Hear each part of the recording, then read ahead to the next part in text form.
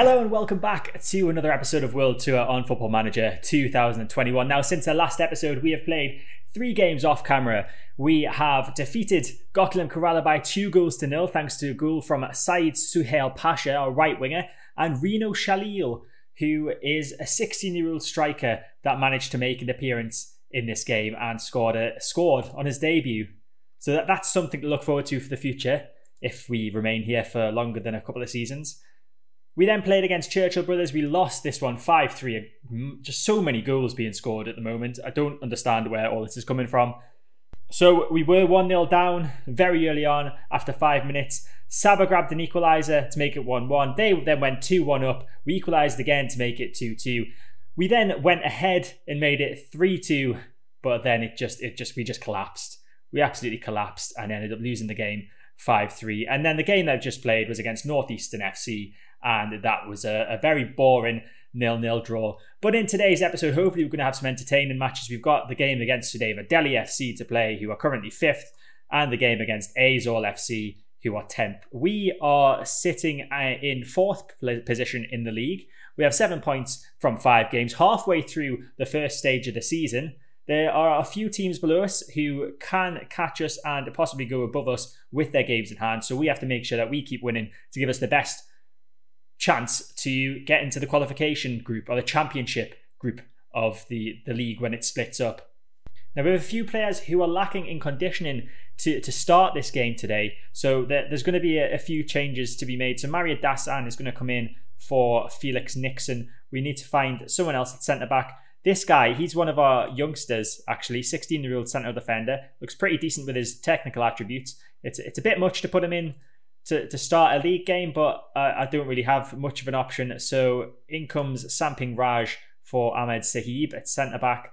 Then we need to find three centre midfielders to replace our current centre midfielders. So who shall we go with? We've got VJN there. We could possibly choose him. Who else have we got? We've got Lennon Mithran, who was pretty decent, if I remember rightly. Yeah, he can come in as the advanced playmaker in place of Mather. And then we TK Rose is injured, and I don't think he played well in the one game that I I played him in. Lijo Francis can play at centre midfield, so I think that could be an option. We have VJN, who's not really great at much, and then Suse Demai, who uh, might play him in a box to box, I guess. He can come in for Anandraj, and then VJN can be our ball winning midfielder for today. Everyone else looks completely fine in their condition. So we will head into the game and hopefully pick up another win against Sudeva Delhi FC. So, team talk time. We are going to not outstretch our arms because we can't say the thing that I wanted to say. We are going to pump our fist and say we're favourites for a reason. Go out there and make sure they're left in no doubt as to why. And it seems to have motivated Kieran Das at the very least. Well, highlightless first half there, not as entertaining as uh, I was hoping for. We, we've, we've, both had three shots. They've had two on target. We had one on target. We are expected goals is slightly better than theirs. Let's do the team talk and say that we're expecting more. I think. Um, where's that option? I'll just say I'm not not happy with the performance out there. Let's have a look, see how everyone is doing. Condition wise, Ashley Collier is looking like he might need to be taken off in the second half. Uh, the match ratings aren't too bad, apart from Pasha's is awful at 6.3. He's going to come off. Lijo Francis is going to come on at right wing in place of Suhail Pasha. And Kumar Singh not having the best of times in goal either on a 6.5. But we'll, we'll leave it there. As I said, we'll probably bring Collie off in the second half unless his uh, his condition improves, which I doubt it will because he's going to be obviously using more of his energy. Okay, so Collie has dropped into the red zone for his conditioning, so he's going to come off. The question is, do we take Saba into left wing and then bring on a striker? I think that's what we're going to do. Saba is going to move into left wing, Collie coming off, and we will bring on, I think Singh Pandre is probably our best option of the two between him and Kumar. So we'll bring him in uh, and see how we get on. It's nearly full time. I don't know why I'm making this change, but I, am I'm going to make it anyway, and it's going to be Samping Raj coming off just because of his condition, and we'll we'll bring on one of our, our normal starting players, Ahmed Sahib, and think it looks like it's going to be another nil nil draw. To be honest, yeah, unless we get a highlight in injury time, which doesn't look likely. There's the full time whistle. Another boring nil-nil draw. How disappointing. And I'm I'm going to thrash my arms and say I expect to see you all in training tomorrow. You don't deserve a rest after that performance. So that actually that result knocks us out of the championship qualification places down to seventh. We're still level on points with a few teams that are in the, the qualification places, but we only have four games left in our season. So we need we need to make sure that we that we win the next game against Aizawl. Just ahead of the Aizawl game, we get this lovely little news item to tell us that Syed Suhail Pasha has won the National Football League or the Hero I League Young Player of the Month award. Well done him. Um, he, he didn't have the best of times in the last game. I was thinking about leaving him out for the, the game against Aizawl, but I, I think I might give him another shot. So you'll see from the league table on the right hand side of your screen, we have somehow climbed up to sixth place in the league despite not playing a game. So I'm not really going to complain. We are on 11, 11 points. I wish we were on 11 points. We're on 8 points. We are three points behind Kashmir FC, who are on 11 points. The team that we're playing today are rock bottom of the league on two points. So you can pretty much guarantee that they're probably going to thrash us 4 0. But we, we'll, we'll see what we can do. If we win today, we can move up to fifth place above Kashmir, but obviously they will have their game in hand on us. So let's make that change. I had already moved Francis in in place of Suhail Pasha right wing, but we'll um we'll make that change back now. So this is our lineup for the game against Aizawl. We have Kumar Singh and goal as always. Back four reverts back to our best back four of Balakrishnan, Felix Nixon, Ahmed Sahib, and Kieran Das. Charles Anandraj, Varun Mather, and Suryan Bhupathi return in the centre of midfield. And then Suhail Pasha, as I said, is at right wing, Ashley Colley at left wing, and Christian Saba up front.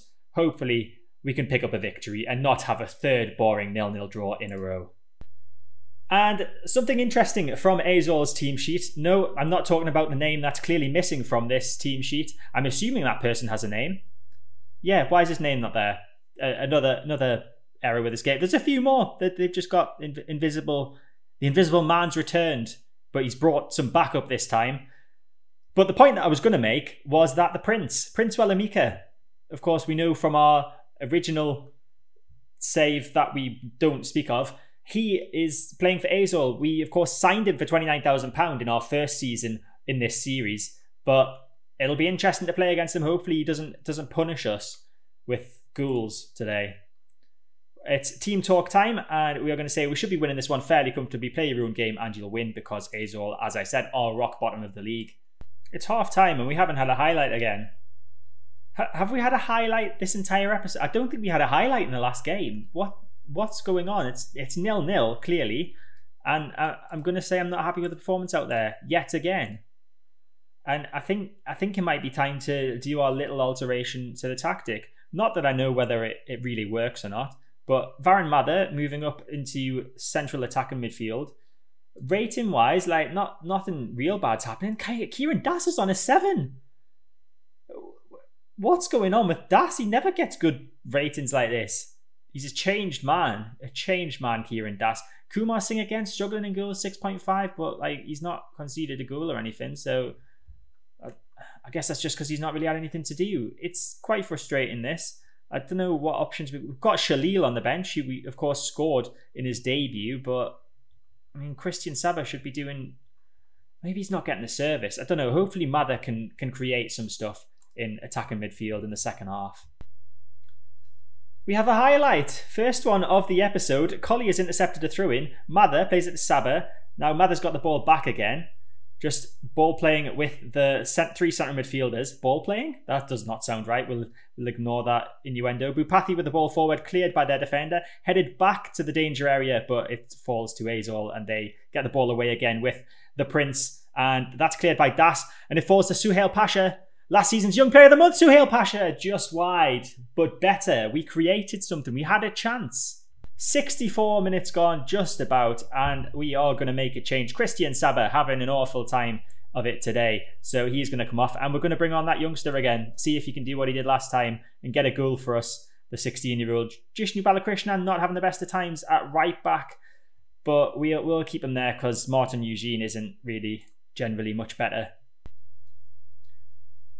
So it's Suhail Pasha with the ball on the right hand side, He loses it, but wins it back nicely, dribbles past one, cuts inside. It's Suhail Pasha. He's missed again.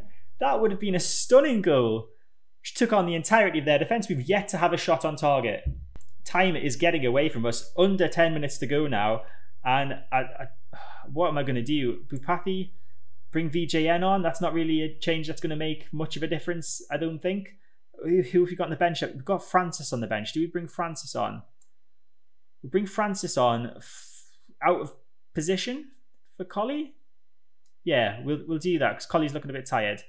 And then, or do I do? No, we'll we'll leave it there. We'll leave it there, and we'll we'll switch the mentality up to attacking as well, and see if we can manage to get a shot on target today at the least.